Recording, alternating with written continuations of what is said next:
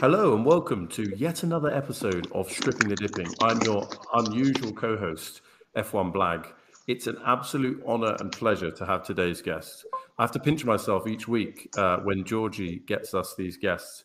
Um, you know, when we had Mario Andretti, when we had Miles Rowe, when we had Jack Bridge the other day. Today, I'm really delighted to be joined for the first time for me on a, a podcast uh, by someone uh, that is in aerobatics.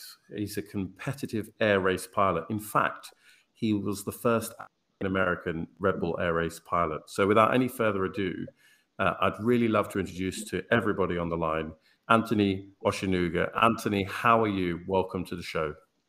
Hey, Mr. Blag, I'm well. Thank you for having me. I really, really appreciate it.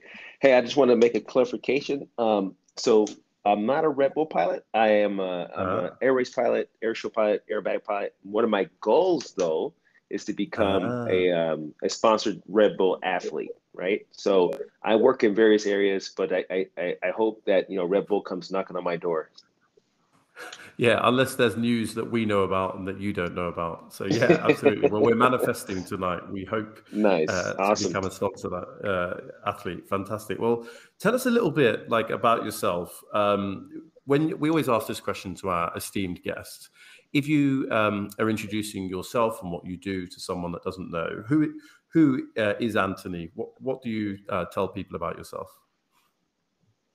Uh, so simply, I just tell them, hey, I'm, I'm an aviation athlete. I, I work in um, various arenas within the within the space of aviation. One of which is air shows. So like the stuff you see with the Blue Angels flying, but I'm flying a little plane with, with a propeller, doing and over and flips and cartwheels in the air to uh, to to um, inspire the crowd from below.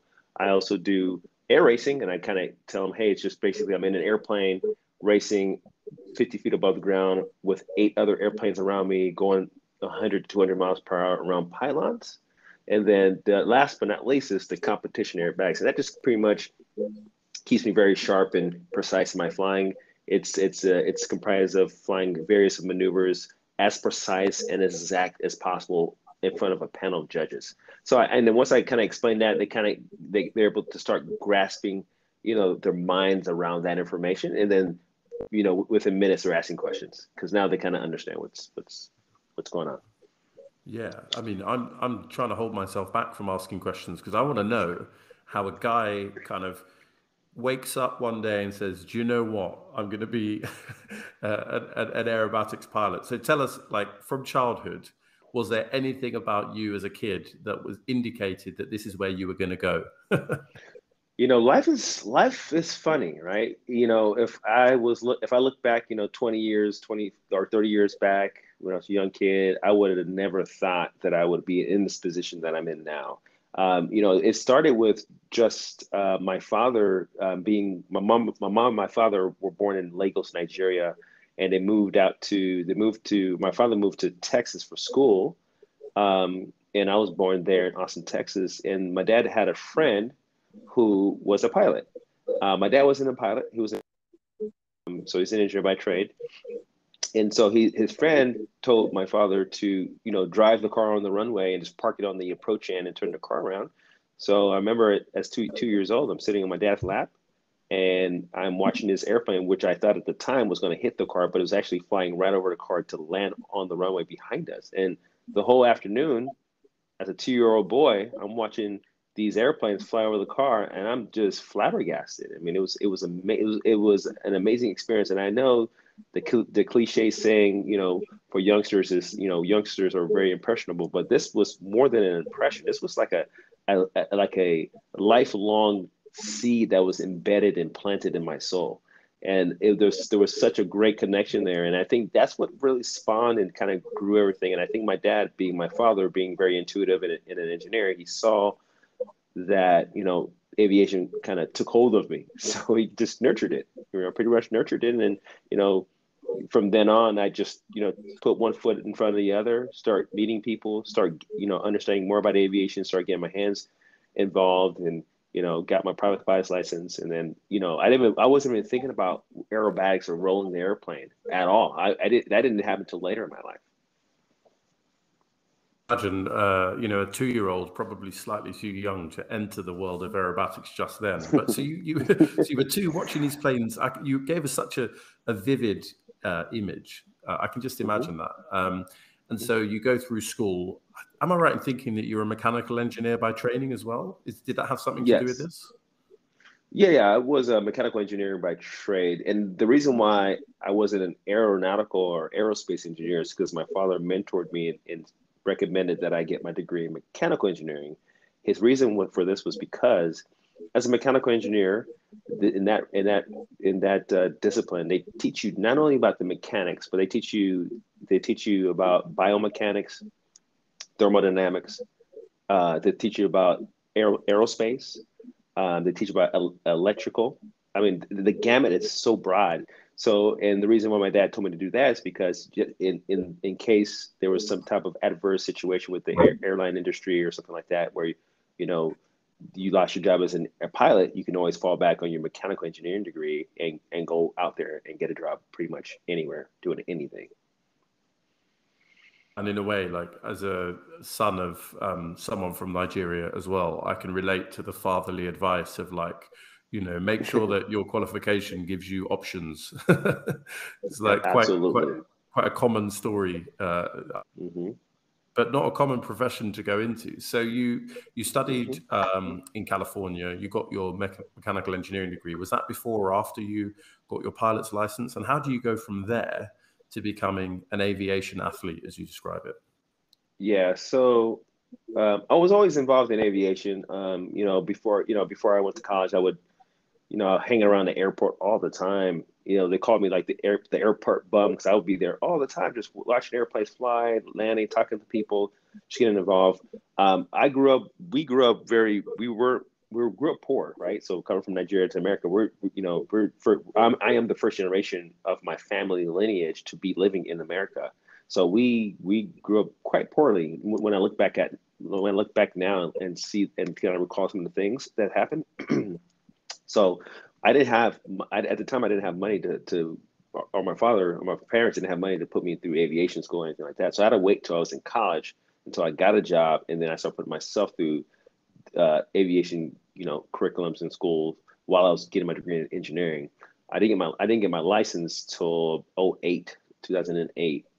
And then what happened was um, I had a friend or I, I, met somebody at the airport and they noticed me just from walking around. So he's pushing his biplane out. It was a two-seater biplane. It was a Christen Eagle at the time.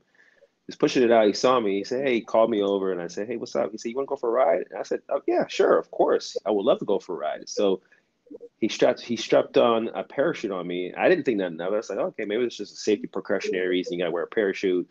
And we get in an airplane. He gives me a briefing. We take off. We're flying in the air now, and we're in the air. It's pretty smooth. Things are loud. Things are and things are moving fast This is a fast airplane. And then he asked me if I wanted to, you know, go through a, a series of airbag maneuvers, which were consisted of a roll, a loop, um, and a hammerhead. And I said, I, I said, sure, absolutely. I didn't, I, I didn't know what to expect, so he did a roll, he did a loop, hammerhead, and I was I was I was in awe because you know I'm so used to, especially being a, a, almost a ground dweller at that time, experiencing two dimensional space and time where we just in a car you go left, right, back, front, and back. Where in an airplane you can go, you can roll it on axis on the X Y Z axis, and it's or the X X Y axis, and it's just amazing to me.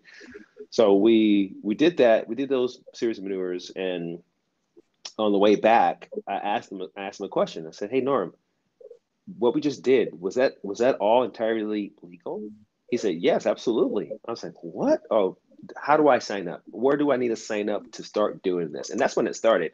Right, he he's the one that got me into it, and I found out it was legal. You could do this legally, and I start I start I registered for IAC, which stands for International Aerobatic Club. So I became a, a club member, and I was I never looked back. I never looked back, and I've just been doing airbags since then. Um, and and yeah, I love I love what I do, and I just I just wake up being so appreciative to have the ability to do to do those things. I know most people suffer from like motion sickness or all those things, but I don't. So I just got lucky. story because there's so many words you're throwing in there, like ground dweller. I didn't realize I was a ground dweller, but I guess I am, right? um, and, and, the idea that you like you could you could probably tell many stories that at the end say, "Was that all entirely legal?" Um, but no. Right, so right. tell tell our listeners what is a hammerhead? We know what a roll is. I think. I think we know what a loop is. We can work that one out. So what's a hammerhead? Mm-hmm. So a hammerhead is you. It's a maneuver where you are you gain speed. Let's say you point the airplane down at a 45 degree angle downwards to gain airspeed. You need energy, and so I usually shoot for 180 miles per hour. And once I reach that, I pull on the stick to to position the plane so that it's going straight vertical in the air. So now you're driving this plane. Now imagine this plane is it's it's it's flying vertically. It's going straight up. And right before the airplane wants to, right before it loses all its energy, it falls out of the sky. You do a series of inputs that that consist of rudder and stick, and the airplane will pivot, will just pivot like motionless towards the ground, and then you and then and then it starts flying down towards the ground, and you pull out. That's pretty much what a hammerhead is. Wow, that was quite vivid. You know, the I was drawing on a bit of paper the forty-five degree angle, 180 miles an hour. Okay, so tell me this, right? You, are going up, straight up, vertically up with all that speed, and your speed mm-hmm. bleeds away. How do you yes. judge when it's the right moment to, as you say, use the rudder and the stick? Have you ever got that wrong? Um, yeah. Oh, yeah. So when I first started doing these things, when you first start doing it, doing it, you you, you you'll mess up. But you know, I flew with an instructor, so I flew in the in the airplane with an instructor with me, so we would do it together, so that it would you know, number one, I wouldn't be starting from scratch and I wouldn't have too many blunders or incorrect inputs at the wrong time. So I I, I kind of understood when I needed to put the inputs in. So basically, it's it's a it's a couple of things that need to happen. It's the, you have to feel your aircraft. Once you get to a level of, of aviation as a as an aviator, you almost stop looking at the gauges, and you just fly by feeling and sight when you're doing aerobatic stuff. I mean, when you're flying close to the ground, of course, you have to you have to look at your airspeed indicator, your, and you have to look out look at look at how high you are over the ground. But when you're doing like hammerheads, hammerhead is a maneuver you you do typically do kind of high. So when you're doing those things, uh, any type of maneuver, I just for me, I just feel the airplane.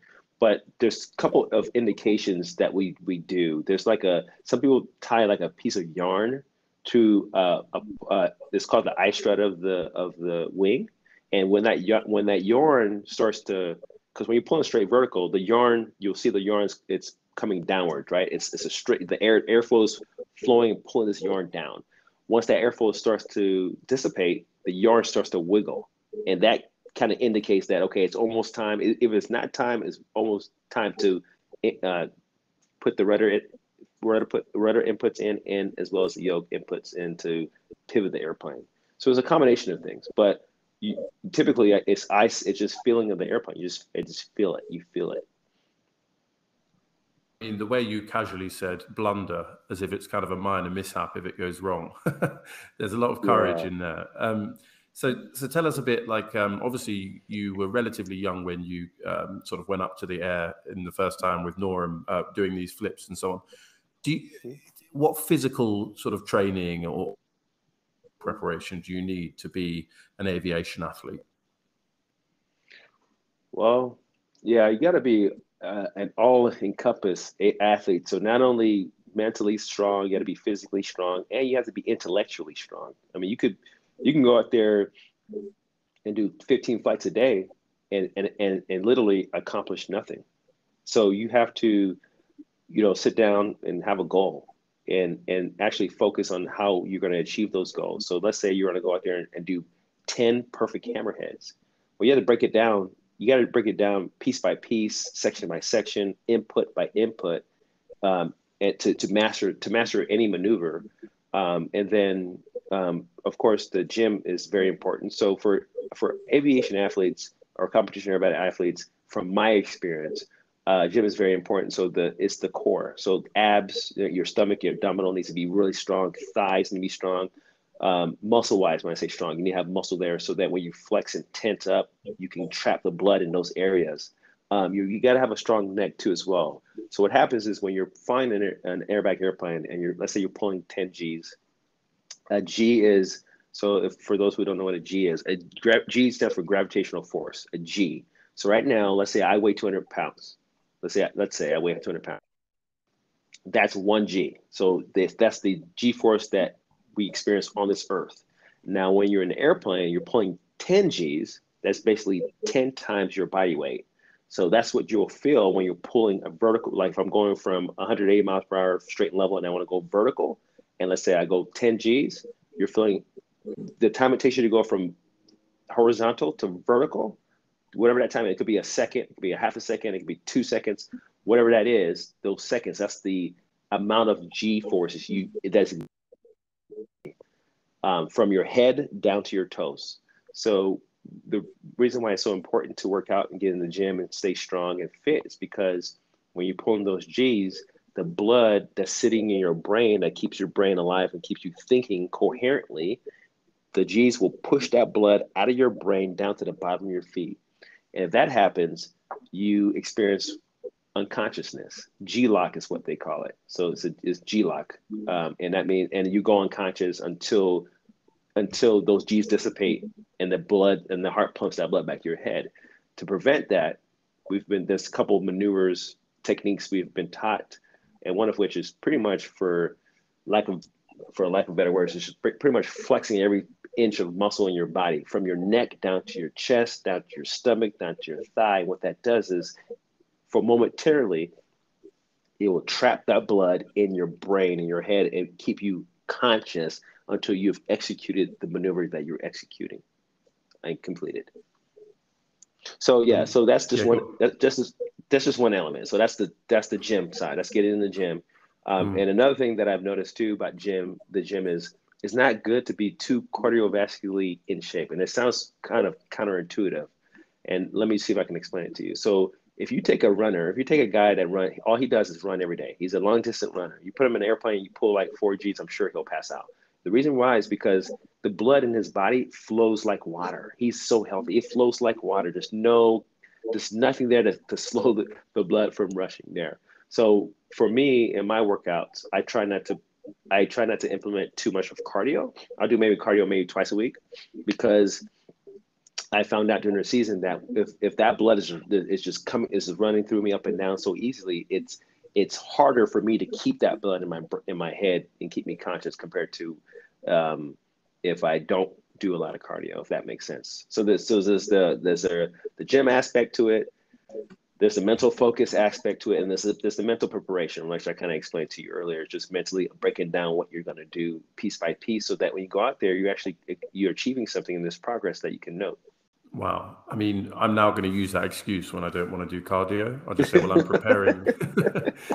my my blood is flowing too well, so I need to do less cardio, please.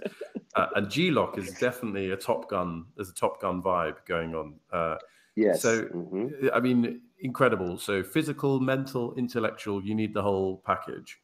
Mm-hmm, um, mm-hmm. And I'm reading here that in your sort of first rookie season in uh, the US National Aerobatics uh, Aerobatics Championship, you actually came fourth out of 14, so straight in. Is yeah. that like, is that because did you take to it like a duck to water? Is there something about you that will be inherently good at flying, or like how, how just kind of get into the top four straight away? What's that? Why do you put that? You know what?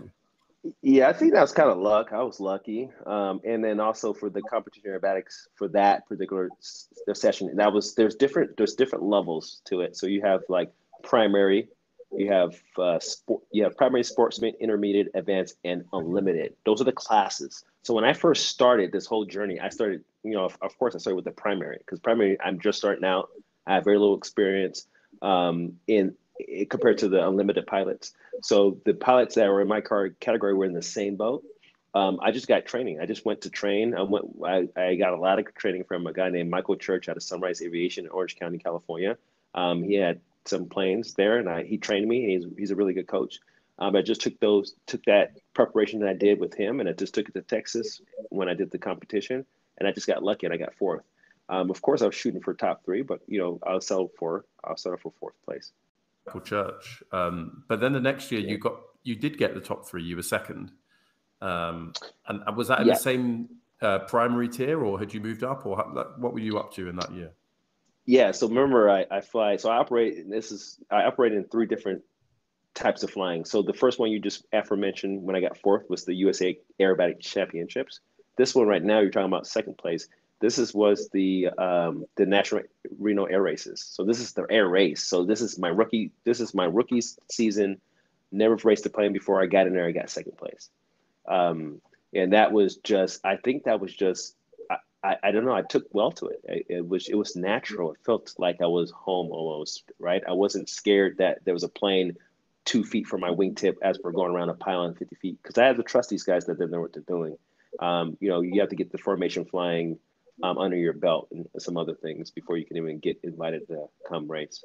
Sounds right. So the aerobatics is, um, I guess, not you know, try to compare it to something. Is it like gymnastics where they're checking, you know, the quality of your maneuvers, whereas in the race you're literally just trying to get from A to B around the course faster than the other person? Is that right? Yeah, precisely. Yeah, precisely. There's a panel of judges for the competition aerobatics that sit and watch you uh, on the quality of and precision and quality of your maneuvers. Whereas racing is just you're trying to beat the guy, you're trying to get in first place and beat the guy ahead of you, but you just try to do it safely.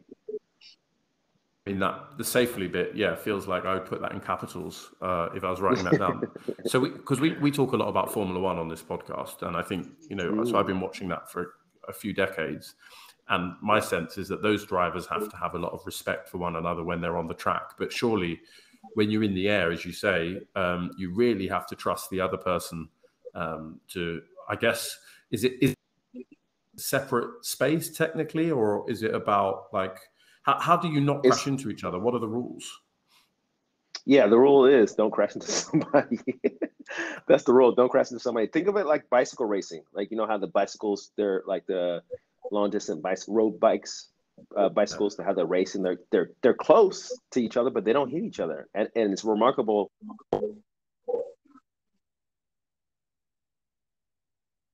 So we were talking about the respect that uh, your fellow pilots need in the air to avoid um, any sort of collision and and how that is perhaps even more intense than in formula one.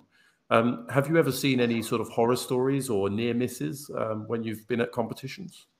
Uh, for the air races, yeah, for the air yeah. races, I've been I've been lucky enough not to witness anything in real life, you know, or, or there while, while, I was there, and or in the air. So, but yeah, we have great respect for one another. It does get. I mean, we're all competitive, right? We all want to win. So there's sometimes there's there's a sometimes there's a like uh there's a um there's close calls, but it's not it's it's not that bad. It's not like that close where it's like a foot away from hitting somebody. It might be like maybe ten feet and then we have officials on the ground, so you can get you can get suspended or you can get like uh, pretty much kicked out of um, the racing organization if you do if you if you're a reckless pilot. But again, this is invitation only, so you know the guys are really good and respectful.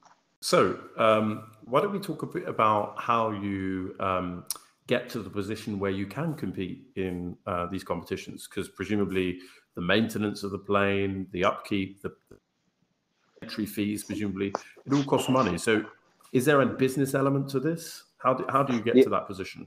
Yeah, there's definitely a business element to this. I think you, you got to treat this like a business. Some people th- treat it like a hobby, and I think that's why they get burned out so soon. They don't have the infrastructure that you know in place to kind of um, see them out or, or have that longevity. So what I did was um, starting out, I knew I wanted to get involved heavy in aviation um, and not and not have not be too financially burdened with the expenses. So I, I created a business called Air Oshi or Air Oshinuga. Um, and basically um, what what it, what the business is about is we give aerial scenic tours, um, aerial scenic tours over the wineries, like 500 feet, and give them tours of the vineyards. The vineyards has over 100 wineries there, so we give them a tour. We land. We partner with a car service, and they the clients get picked up by the car service and take them on a wine tasting tour where they're tasting wine all day. And so the way the way I thought about this was okay, what's what's the top three things in the in the world that sell a lot? And one of the things was like alcohol, no one's cigarettes and all that stuff. But, but I thought that wine was perfect because wine brings a, a different type of clientele. Everyone likes wine, um, and everyone likes to have a good time. But nobody was doing it. Nobody was doing it with aviation. Nobody had like come get in this airplane, a small airplane, let me fly you over the vineyards and then land and then actually go wine tasting at these vineyards that you just flew over all day. So I put this business plan together and did ran the numbers and you know did you know kind of projections and stuff like that and, and it seemed like it worked and it's been working so and that and i used those i used that those funds to kind of pay for you know help me pay for my first aerobatic plane help me to you know afford the gas expenses oil expenses maintenance expenses on these airplanes registration fees to get in these events and whatnot.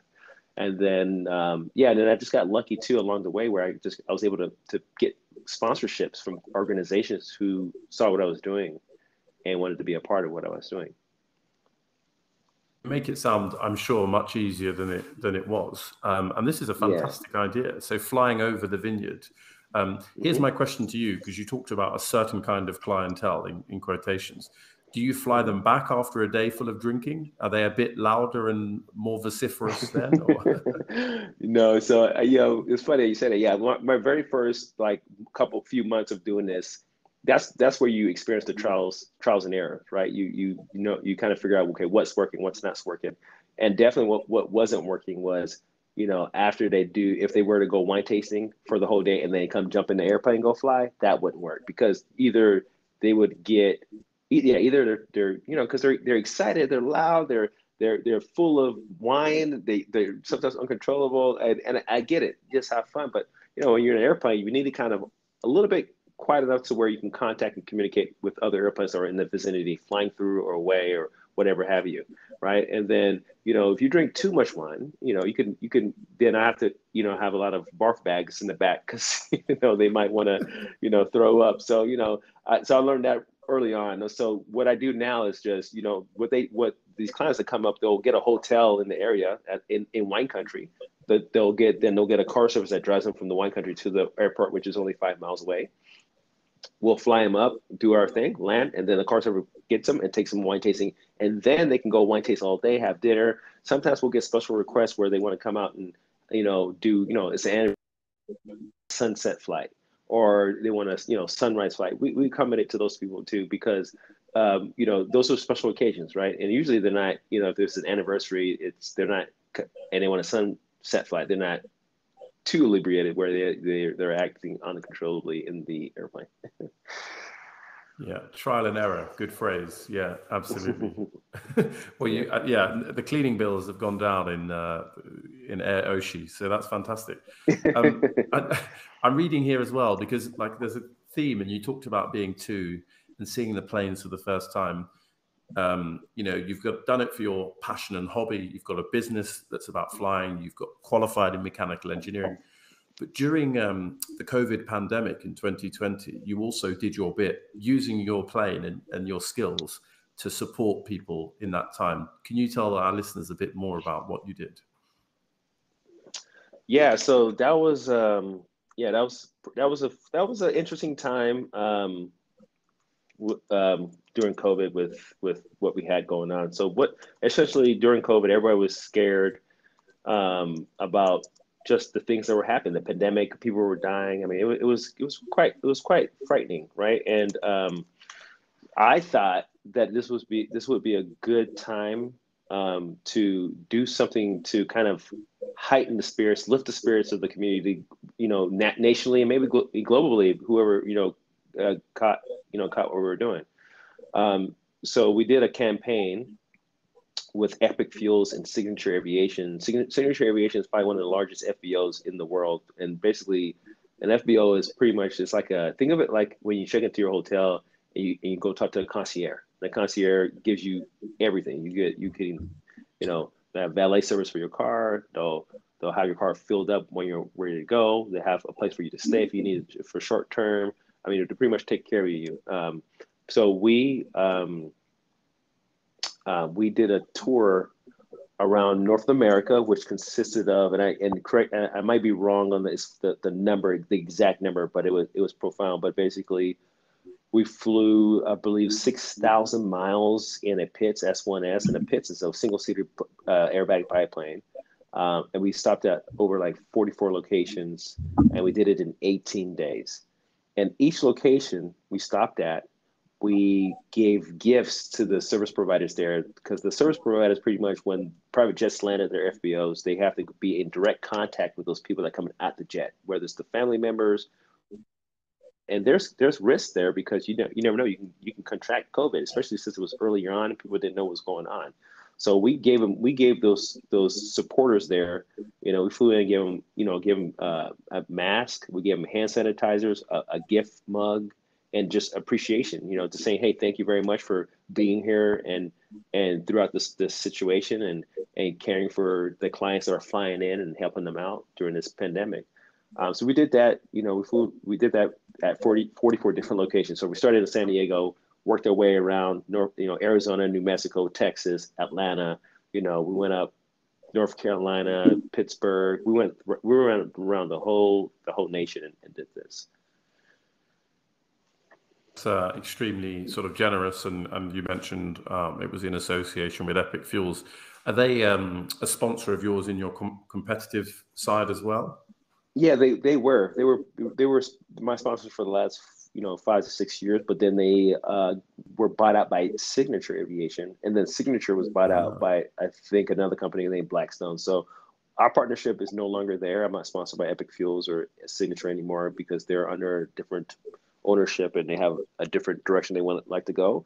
I hope that maybe in the near future, you know, they will come back or maybe somebody else uh, come back and, and help you know, sponsor me in that fashion.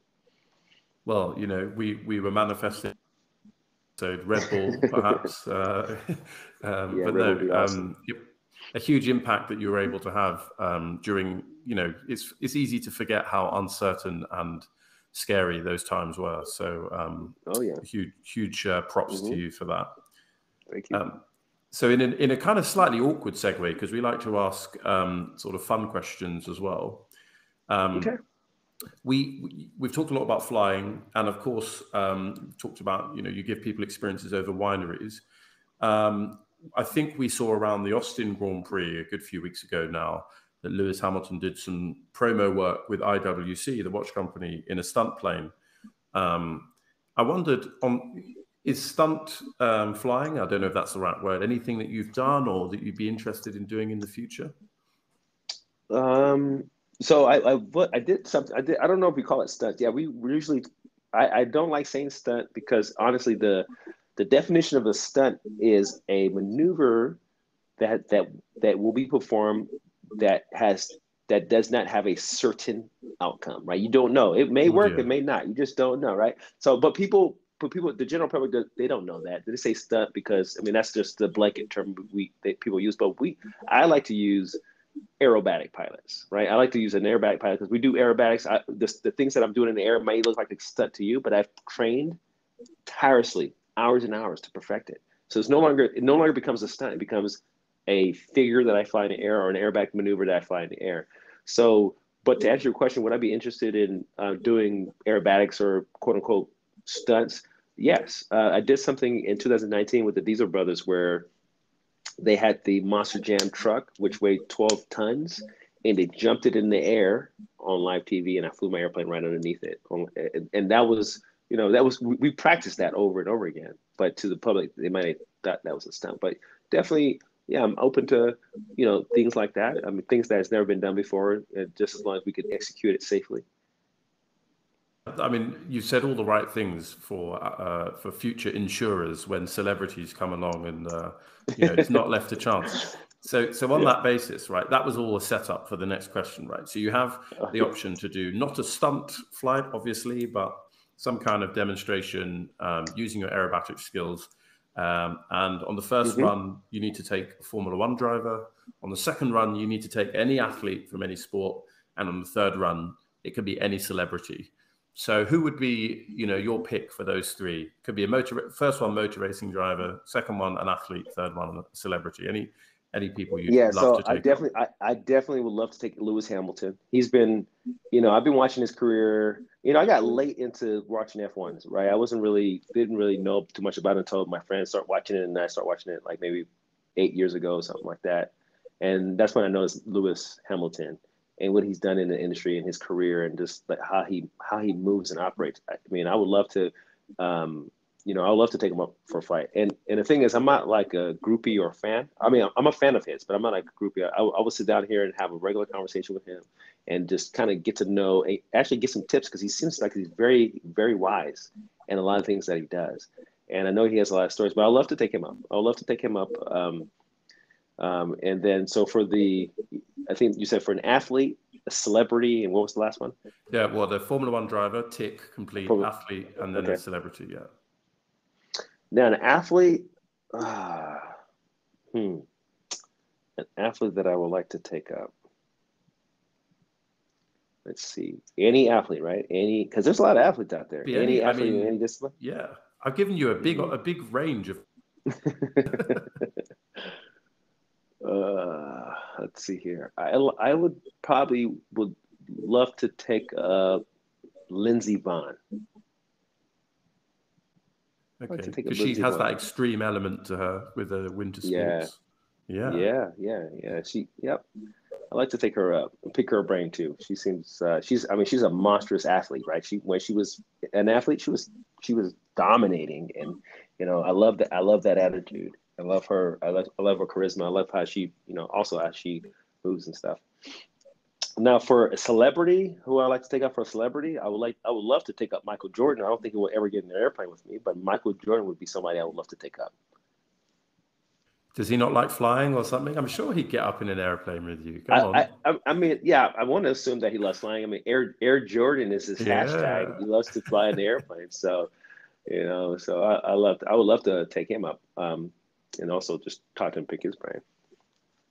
I think anything is possible out there. I think you know, like you said, put it in the air, put it put it in the universe, and things can happen. And maybe one day they'll listen to this podcast.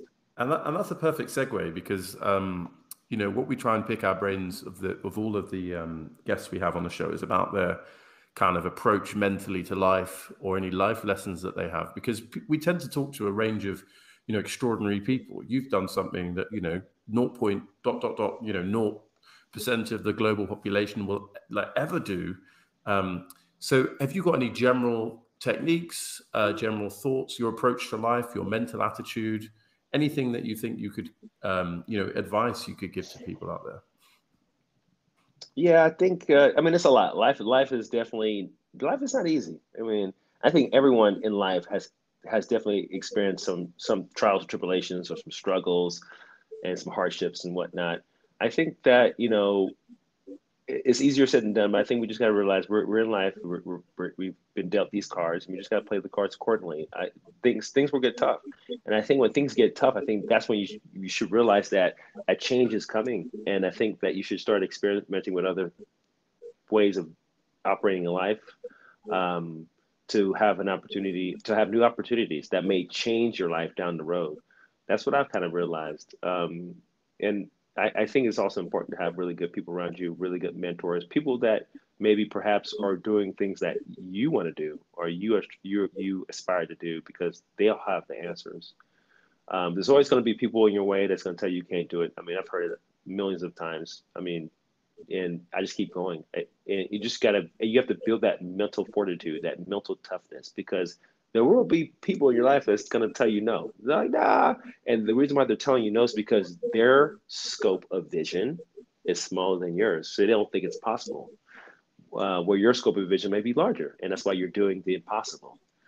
Um, I don't know. There's a lot of tidbits of life lessons that I've noticed, but uh, I would I would leave you know the listeners with just you know if you have a goal in your life, it, it, even if, if it's small or little, but hopefully it's bigger than most, just go at it full force put all your soul and your energy into it and eventually something will happen. It has to.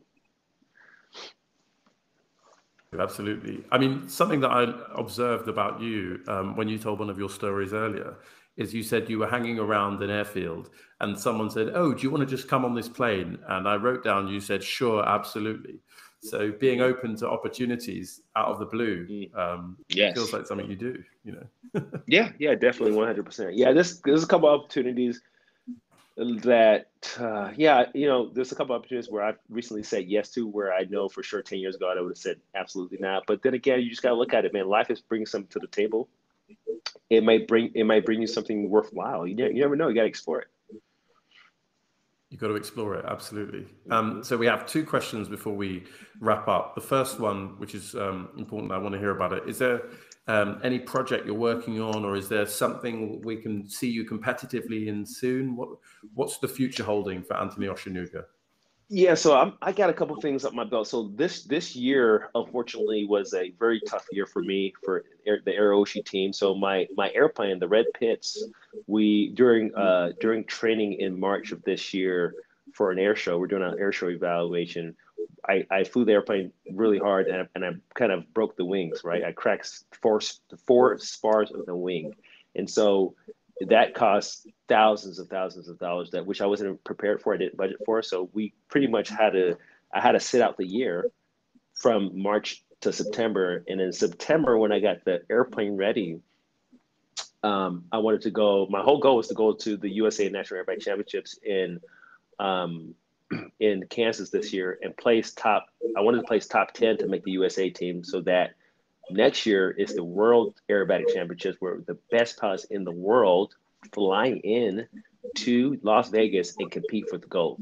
So because my airplane was down for the whole year and I got it up in September 20, 22nd and the USA National Aerobatic Championships was October 2nd, leaving me roughly a week and a half. I, I trained for a week and then I had to take the, the next five days to just fly my airplane to the site location and I didn't place top 10. I placed in you know, bottom of the pack. And uh, again, this is part of life, right? This is life lessons. You know, sometimes you, you have to fail to get better or to do better. But, you know, there's a lot of things that happened earlier in the year, which I'm not using it as an excuse, but kind of, it kind of, it, it, it, definitely hurt me because now that I didn't make the team. So now to answer your question, what, what's the plans for next year? So I think the plans for next year, because I'm not on the USA team, but because my parents are from Nigeria and I hold dual citizenship, I think I want to go to I'm going to go to Vegas and represent Nigeria on the world scale and compete like that. And I think that's going to say a lot to it's it's going to be it's going to be a big statement because I think it's going to especially for the for the Nigerian kids in Nigeria to see a, a you know another fellow African holding their flag and competing against the world it's going to be it's a bit it's it's it's kind of like man it's almost sentimental it's like inspirational it almost makes you want to cry because it's like wow because that has never happened before. And and it is just life is just leading me down that path. I didn't choose that i wanted to fly for usa but hey i things held me back for reasons unbeknownst to me and i'm just to follow the path life is giving me right now. And right now life is saying hey you want to be there? Here's the way you can get there. Fly under the nigeria flag and go kick some butt. So that's what i'm to be preparing for and training for for next year. Um, um, yeah that's pretty much that's to be my, my main focus. I'm to be you know working some other things with other sponsors and other companies that are knocking on my door, which I can't really talk about right now. But uh, my main focus is going to be going to Vegas next year and, and um, doing something, doing something well. There's a there's a lot to reflect on there. You're the king of marketing because now I'm really intrigued about those sponsors. So when you can tell us, you've got to tell us. Um, Absolutely. And, but you're also the king of understatement. You playing a bit harder. And I kind of broke the wings. um, yeah, it's a big. But, yep. Well, so so so Blag the thing is though so i'm like again I, am like I, i've started from i started in this in this aviation uh, story of mine coming from a you know poor background. So the plane that i have is is is not it's not equivalent in terms of performance as my competitors. My competitors are flying half a million dollar airplanes half a million dollar airplanes. My airplane was about mm, maybe 60k right? So i am i am i'm pushing this airplane. Every time i get in this airplane I'm pushing it to its limits every single time. The airplane's not pushing me to my limits. I'm pushing it to its limits. Now, if I had a half a million dollar airplane, if I had, if I had a big sponsor who got me a million dollar airplane, that million dollar airplane would definitely be pushing me to my limits. So it's it's a thing where, you know, I'm I'm I'm trying to you know place top three, top ten against these great pilots with great machines, and for me to be able to even come close to them is hopefully speaking to um, maybe aspiring sponsors out there to you know to help further my journey along or or even kids are saying like you know that thing is impossible because I'm I'm trying to do the impossible not because I want to because but because I have to I want I, you know I, winning is like it's an absolute must you know because I'm really passionate about what I do I love that. Not because I want to, but because I have to. And um, mm-hmm. yeah, that difference, 60K to half a million, that's sort of, you know, 12% to do the quick maths.